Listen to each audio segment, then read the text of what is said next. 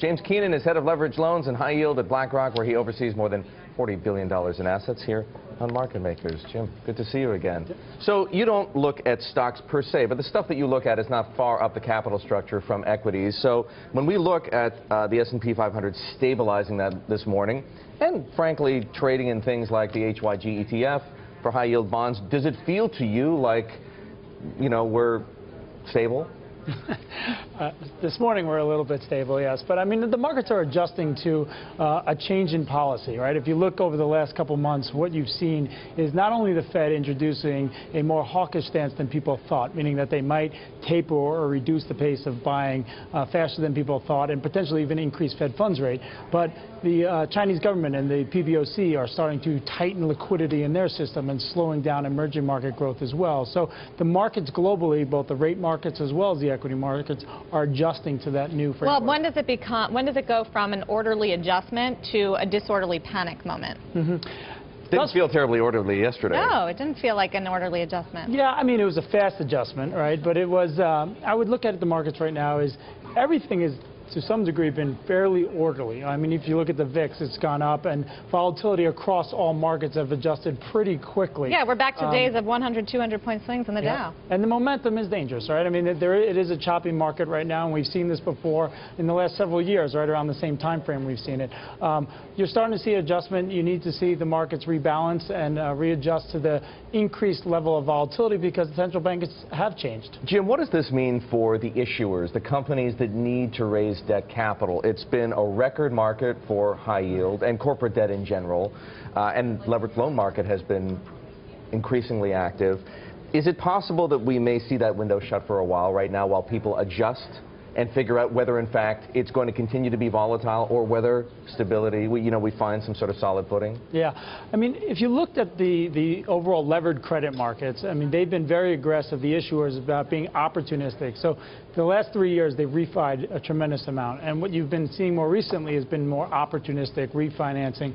Um, much of that, they can pull that back because they don't need to come to the market right now. So when you get a time of volatility, they can reduce the amount of new issuance because it's not like there's maturities coming due or they have to spend. Right. There's only a small percentage of the market that needs to do that right now. Within your world of corporate credit, which type of companies are you looking for right now? Yeah, we've been more focused towards U.S. and uh, more things that are more stable, things like cable and, and wireless and wireless infrastructure, um, where you have more stable cash flows. And you like housing? we do like housing. You know, I think there'll be a, the momentum will start to slow down a bit, but there's a real recovery in the housing market.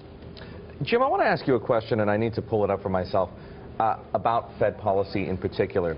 Uh, Jim Bullard, the president of the St. Louis Fed, uh, had a statement this morning explaining himself, explaining why that he dissented with the majority and disagreed effectively with the stance that Ben Bernanke took a couple of days ago. State contingent monetary policy, he said, is best central bank practice. Policy action should be undertaken to meet policy objectives, not calendar objectives. And what he was specifically arguing with, as you know, is this idea that the Fed should commit itself to doing things at certain times as opposed to when markets meet certain conditions. And the reason I want to ask you about it is because his concern is that that introduces uncertainty because what if conditions change? Can the Fed continue to stick to those targets? And if it can't, doesn't that make things difficult for people like you? Right. I think you are seeing that in the market. I mean, the reality is the Fed's forecast can change and, and has changed, right? And so uh, that does have the, to do with where the markets are and the changes. I think what you've seen is, is each one of these central banks, not just the Fed, but the ECB or the PBOC, they're regional banks with regional mandates, and, and they can't determine what other fiscal governments are going to do or other central banks are going to do. So you have to be able to adjust. One thing with regards to uh, the, the policy in 2010, 2011 is when the Fed said, we're going to buy everything, right? It dropped volatility because you knew exactly what they were going to do. And what they've adjusted to it is that they can't control those factors. And so QE3 is more about, well, put money in if you need, and we'll take it out if the market doesn't need, but that takes away a bit of transparency and adds on. And it can't only be about the Fed. There are plenty of other global risks right now. China, overnight, we're watching those spiking interbank markets. Uh, Japan, there's still some bumpiness when it comes to the execution of this monetary policy. How do you factor all that in? Because it sounds like you have a lot of faith in the economic recovery, at least in the U.S. Mm -hmm. Well, I mean, when we're talking about economic recovery, I believe we're, we're moving towards a world where you have more stability in a low growth profile, not necessarily a significant economic pace.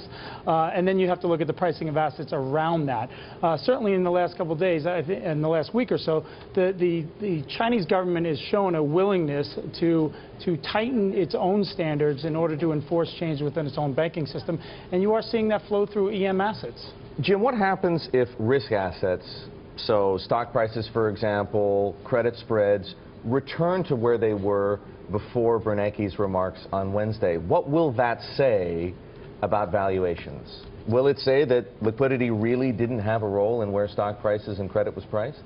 Well, liquidity has certainly had a role. I mean, if you look at the 2008 financial crisis, I mean, obviously we've had a tremendous amount of liquidity. Getting here, but right, to avoid where we are right now. situation, right? And the amount of liquidity that goes into the system, right? If you put too much liquidity in at once, you're going to have short-term inflationary pressures, and we saw that in 2010, and that causes the private sector to kind of pull back. And now you're seeing some liquidity, but liquidity getting pulled back in some cases, and the markets are slow. But you look at corporate growth and you look at economic growth, it's still slow and it's stable. We're not talking about rates exploding here because there's really not an economic, the, the the economy's not for it, growing right? that fast, right? And, and there's still so much leverage in the system that it just doesn't really have the capacity to grow at an, an incredible high rate right now. Jim, it's always good to see you here. You too. Thank you for coming this morning. You Jim too. Keenan is head of uh, leverage finance and high yield at BlackRock, oversees some $40 billion.